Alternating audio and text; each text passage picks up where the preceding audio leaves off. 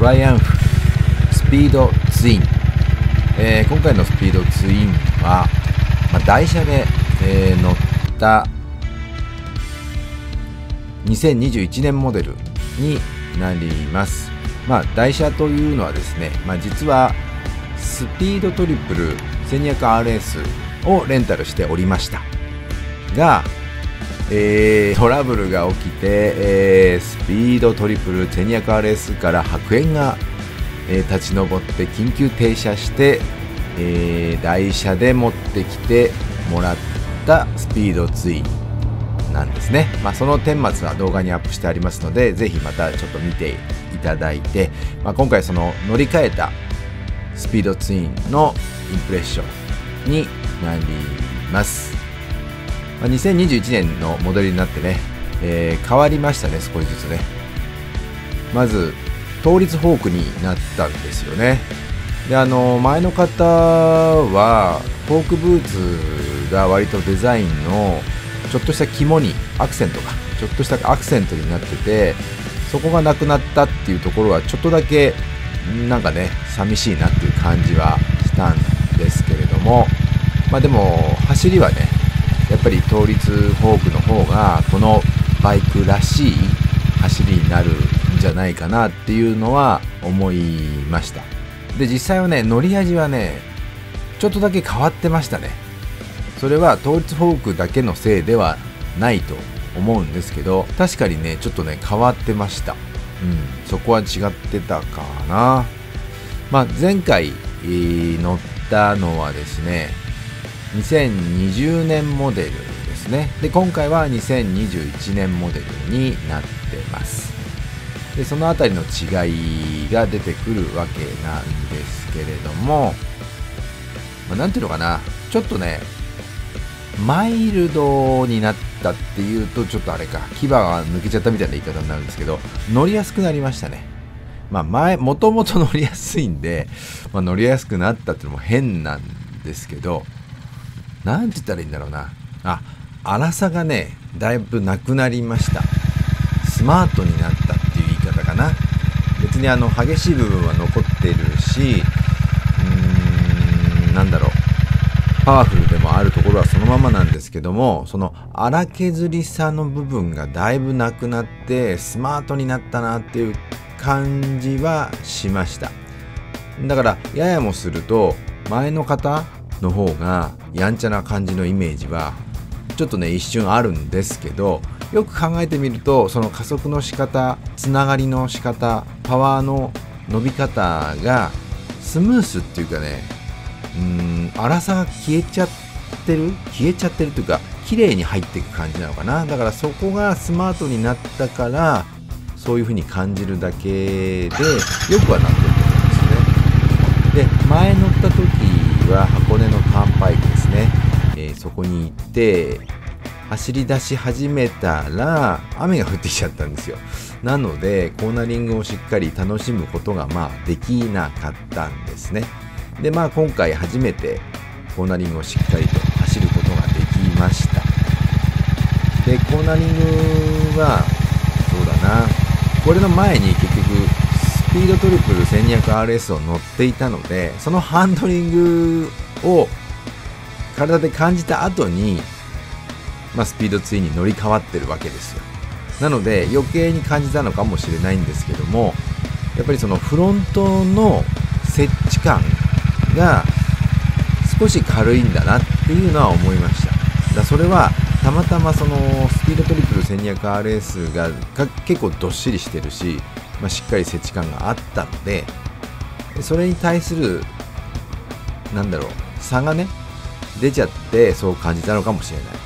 だからその前にスピードトリプル 1200RS を乗ってなければそう感じなかったのかもしれないんですけどただね、若干ね、フロントもうちょっとしっかり設置感があったら、コーナリングがもうちょっとなんていうのかな、安心感があるなとは思いました。ただ実際、重量の問題とか、うーん、なんだろう、スタ額ももしかしたら違うのかもしれないんですけど、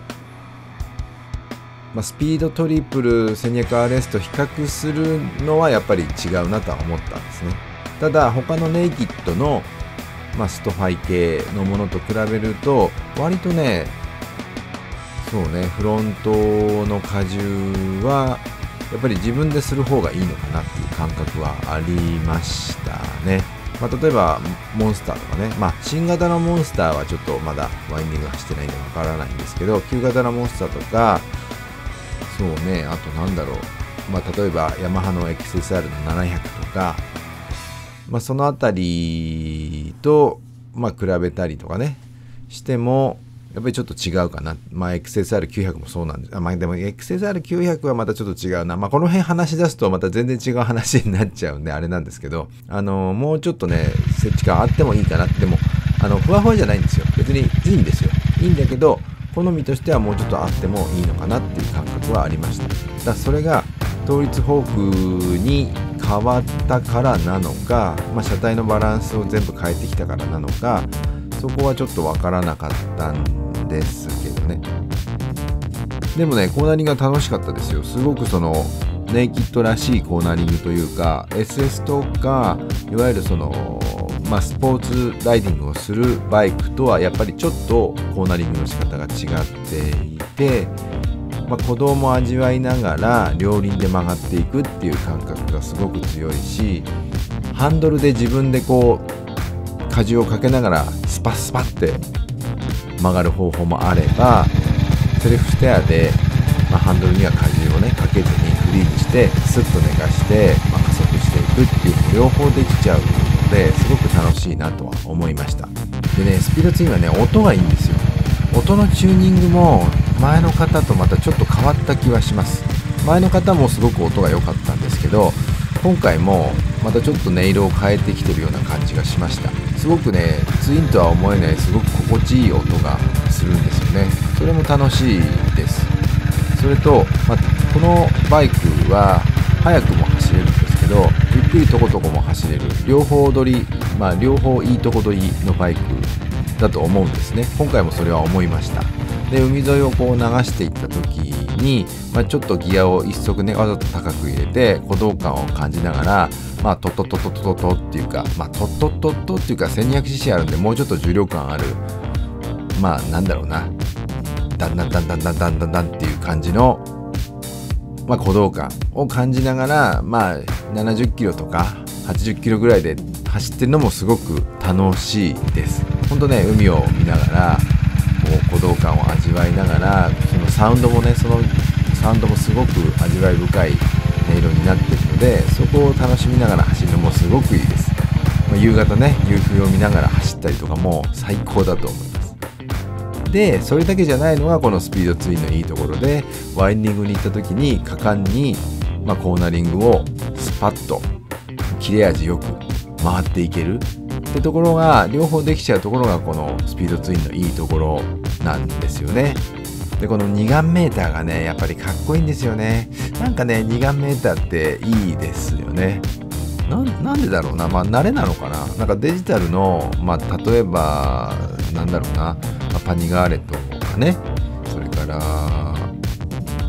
XSR とか。まあ今ねデジタルのメーター多いですけども。まあその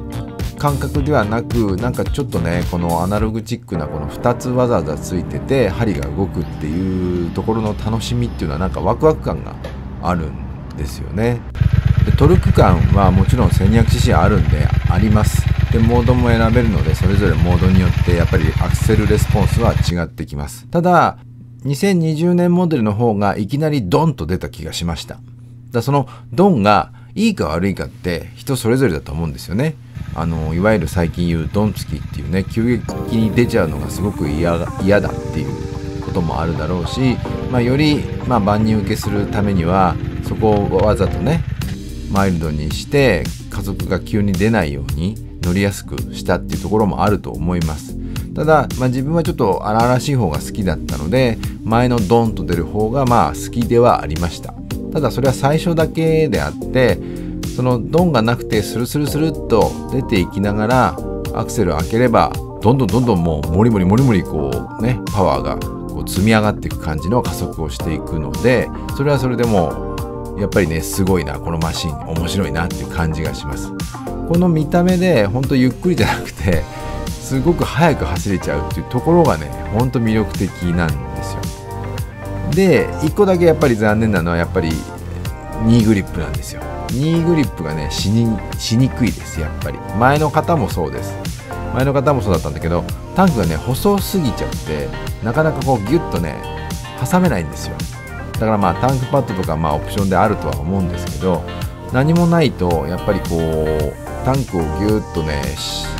絞るっていうかその挟み込むのができないんでせっかくそのワインディングで切れ味の良い走りができるところを挟めないとちょっとねやりにくくなっちゃうんですよね。だからそこがまあ残念だなとは思うしまあここが太くなっちゃうとまあデザインが変わっちゃうのかな。そういうところもあるんで悩ましいところではあります、まあ、そこだけかな唯一個人的に残念だなと思うの。あとはもうほんとねこれはゆっくりでもいいし速くも走れるしほんといいバイクですよ。でデザインがやっぱいいじゃないですか。すごく。ねこのリアの2本のショックもいいしこのスーッとね伸びたこの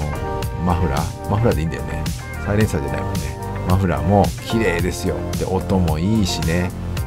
でこのデザインはねなかなかね秀逸だと思いますよ、まあ、と個人的には2020年のあのホークブーツのまああれがあった方がよりねレトロっぽくなっていいなとは思うんですけど、まあ、これはこれでね、まあ、同率になってよりスポーティーな印象を出してるのでそれはそれですごくいいなとは思ってます。まあでもねこのレトロバイクネオレトロがねほんとかっこいいですよね。おしゃれ。ほんとおしゃれだと思う。これも普通に街中に乗ってってもいいしまあ山とか海に行ってもね絵になると思うんですよね。これだったらね。で走りもいいでしょほんとねニーグリップだけ。そこだけ個人的にはですよ。個人的にはね。まあほんといいバイクだと思います。これねほんとツインのエンジンでもネオレトロでもスピードは全然諦めていないんですよ。そこがいいし鼓動感も味わえる。270度クランクにまあねトライアンフが全部こう方向性を変えた時点でやっぱりそういう味をね人気をね得たんだと思いますすごく。これはねいいバイクです。是非皆さんも乗ってみて